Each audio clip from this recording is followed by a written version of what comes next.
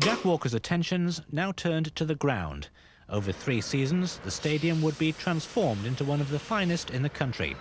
As Rovers finished fourth in the league, the work continued around them. Ewood Park was sporting a new look